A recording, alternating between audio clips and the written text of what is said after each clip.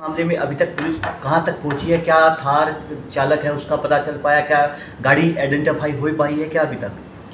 देखिए, परसों ही एक ये अनफॉर्चुनेट घटना हुई थी, जिसमें रोडवेज़ का एक ड्राइवर जिसका नाम जगवीर है उनकी मृत्यु हो गई थी। एक रोडवेज़ की बस और थार गाड़ी का आपस में झगड़ा हुआ, फिर उसके बाद थार गाड़ी, देखा गया फुटेज में कि वो उसने गाड़ी भगा करके और उसको कुचलने का प्रयास किया और उसमें एक, जो जगबीर ड्राइवर उनकी डेथ हो गई है। इसके लिए तभी से हमने इसको केस को हाईएस्ट प्रायोरिटी देते हुए, एक तो मर्डर केस रजिस्टर किया है, जो भी परिवार के बयान पे जो केस बनता था, हमने रजिस्टर किया है मर्डर केस रजिस्टर किया है। और उसके बाद से निरंतर पुलिस की टीमें प्रयास कर रही हैं उस आरोपी गाड़ी के जो चालक था, उसको पकड़ने की। उसमें कई सारी फुटेज हमारे पास सामने आई हैं। हमारी हमारी करीब 20 टीम्स इसमें अभी लग रही हैं। और जगह जगह फैल करके उन्होंने पूरी हाईवे पे और भी जो होटल ढाबे हमारे सोनीपत ज़िले के हैं मूर्थल के हैं, उनके भी फुटेज हमने काफ़ी चेक करे हैं। बहुत सारी टीम्स अभी भी इस समय फुटेज चेक कर रही है। आगे भी दिल्ली में जाकर के हमने कुछ कैमरे उसकी जाँच करी है, वहाँ भी कुछ फुटेज हमें मिली है। लेकिन क्योंकि रात का टाइम था मतलब अर्ली मॉर्निंग चार बजे का टाइम था, थोड़ा अंधेरा था तो नंबर प्लेट बहुत क्लियरली विजिबल किसी फुटेज में नहीं हो पा रही है। फिर भी हमने कोशिश करी है कि जितने भी फुटेज हम ले पाएँ, अभी तक सौ के आसपास कैमरे की हम फुटेज ले चुके हैं और उसके आगे भी प्रयास जारी है। दिल्ली पुलिस के साथ भी हमने समन्वय स्थापित किया है और दिल्ली पुलिस के साथ मिलके हम अलग अलग सीसीटीवी फुटेज की जाँच कर रहे हैं। उसके अलावा महिंद्रा कंपनी से भी हमने संपर्क किया है और उनकी जितनी भी दिल्ली नंबर की गाड़ियाँ उन्होंने सेल करी हैं पिछले दो सालों में, उनका डेटा भी हमने प्राप्त किया है। करीब चार हज़ार गाड़ियों का डेटा हमारे पास आया है। और अब हम कोशिश करके अलग अलग टीमें लगा करके हर व्यक्ति को उन चार हज़ार लोगों को वेरीफाई कर रहे हैं कि वो इस समय कहाँ हैं।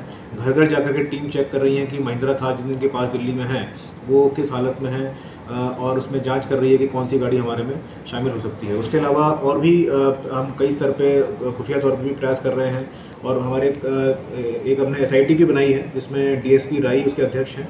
और पाँच इंस्पेक्टर कुल उस एस में शामिल हैं साइबर सेल का इंचार्ज भी उसमें शामिल है।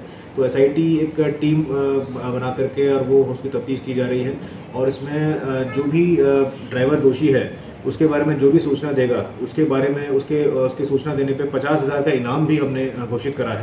तो हर संभव प्रयास पुलिस की टीमें कर रही हैं और हमारा ये प्रयास रहेगा कि बहुत जल्द से जल्द हम उस आरोपी ड्राइवर तक जगबीर के बेटे ने भी सुसाइड किया है। सुसाइड किया है सर। वहाँ पर अभी ना चक्का जाम है पूरा हरियाणा रोड चक्का जाम है। उनसे इस तरह से हरियाणा रोड के कर्मचारियों से समन्वय स्थापित किया जा रहा है सर? देखिए कल से ही हमारी जो पुलिस की टीम्स हैं वो लगातार संपर्क में है रोडवेज़ यूनियन से। और लगातार उनको हम अपडेट भी कर रहे हैं जो जो हमने तफ्तीश अभी तक करी है। केस की जो प्रोग्रेस है वो हम उसको समय समय समय पर अवगत करा रहे हैं। जो मृतक का परिवार है उससे भी हमारा जो सीनियर लेवल के ऑफिशियल्स हैं वो टच में है। उनसे हरियाणा रोड के कर्मचारियों से समन्वय स्थापित किया जा रहा है सर? देखिए कल से ही हमारी जो पुलिस की टीम्स हैं वो लगातार संपर्क में है रोडवेज़ यूनियन से।